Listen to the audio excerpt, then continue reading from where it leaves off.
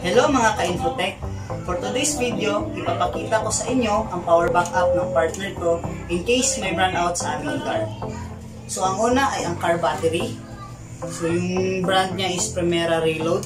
Isa itong 9 plates car battery. Tapos yung price nito is 4,500. Nabili ko to sa auto shop sa aming lugar. So ang pangalawa ay ang power inverter. So, ito. So, yung brand niya is Busca 1000 watts. Tapos, ito yung alligator clip niya. So, positive, negative. Kakabit natin ito sa battery. So, ito, meron siyang isang outlet, power button, indicate, power indicator, tsaka isang USB port. So, ito, Nabili ko to sa Shopee, uh, mga 1,000 pesos plus. So ilalagay ko sa description box yung link kung saan ko to nabili. Pangatlo ay ang charger ng battery. So ito, nabili ko dito sa Shopee. Yung price niya nasa mga 600 plus. So ilalagay ko dito sa description box yung link. Tapos ito yung alligator clip. So ito yung ikakabit natin sa prone ng battery.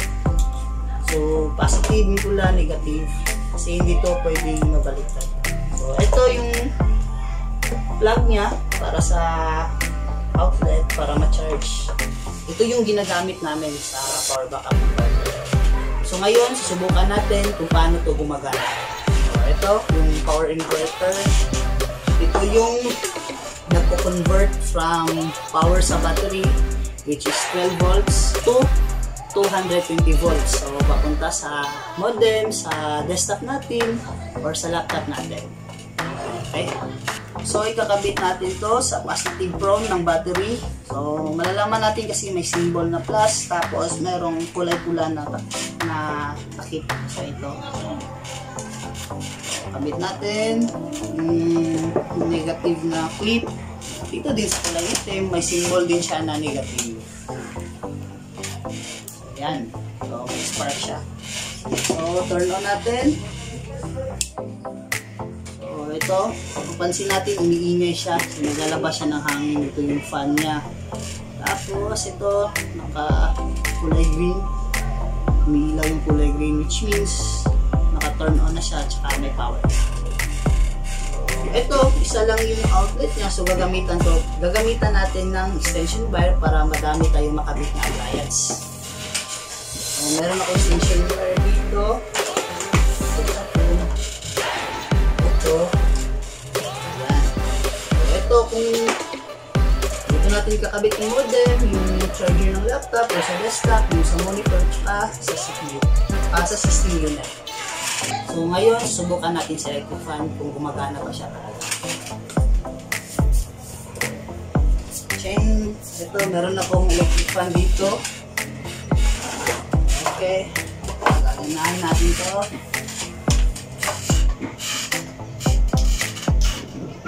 So, kabit natin.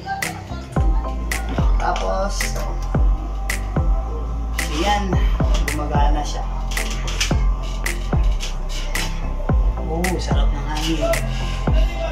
So, ngayon, yung sa sa charger naman, subukan din natin to gumagana to.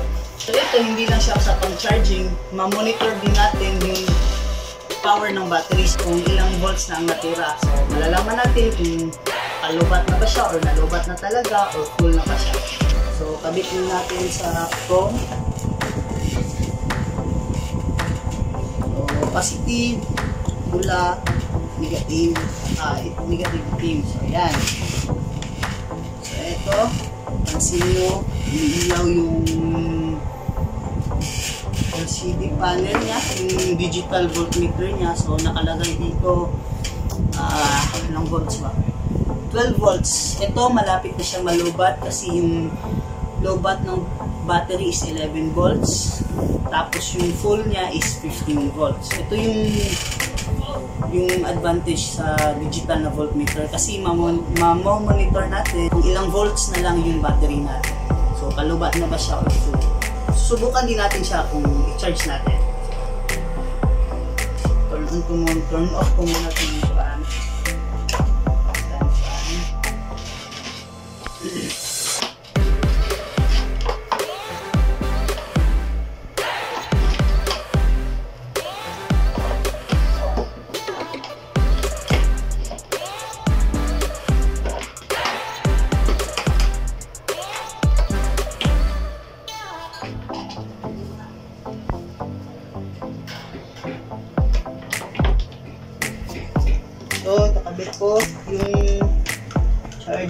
outlet.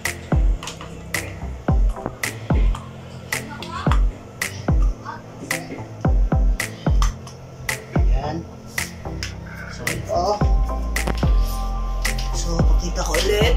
Ano, paano ito charge So, ito. So, so, makita mo na nag-charge siya kasi yung number ng volts niya is pataas. So hanggang 15 volts to. Pag 15 volts na to, it means na full na yung battery natin. So guys, kung bibili kayo ng battery, nasa sa inyo na kung ilang plates yung pipiliin nyo. So, mas mataas na plates number, mas matagal din siyang malubat. Tapos, ito, pwede naman kahit anong brand yung piliin din nyo na power inverter. As long as inverter siya. Tapos, ah, ilang watts? Siguro mga minimum na watts is 500 watts. Kasi hindi naman naabot ng 500 watts yung appliance na ikakabit natin. Kung isang modem, isang computer, mga ganun, hindi naman. Siguro 500 watts okay na din. So, ito 1,000 1,000 watts yung pinili ko lang kasi ito yung gusto ko. So, sa charger din, depende na din sa inyo kahit anong brand, anong design, as long as meron siyang ah, digital voltmeter para, para din ma-monitor nyo kung ilang volts na lang yung battery. Kasi, kasi meron ako nakita sa Shopee na walang ganito. So, kaya ako nasabi na kailangan yung pumili ng merong merong voltmeter. So, yun lang. That's all for today's video. Sana yung nagustuhan niyo itong video at may natutunan kayo. Please like, share, at hindi pa nakapag-subscribe, subscribe na sa aking channel. And maraming salamat po.